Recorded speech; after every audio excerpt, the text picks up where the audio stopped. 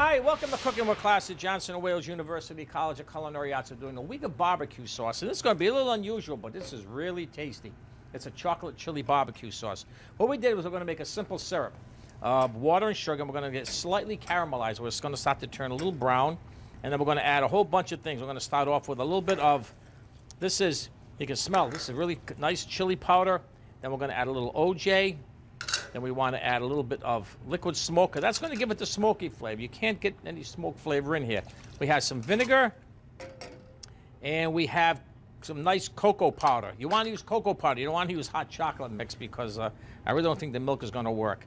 And then what you're going to do is get this to a simmer, and then we're going to touch in just a little bit of tomato paste and just let this come up to a simmer. This looks very, very simple, but this has the most incredible, incredible flavor. And what this works well is with, with barbecue chicken. So it's always nice if you're going to make a barbecue sauce like this, make at least a quart or so. If you're going to go through the labor and the effort, make it all.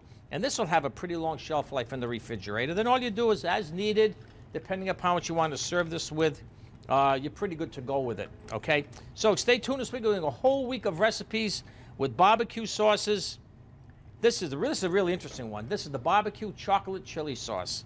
Now that's cooking with class.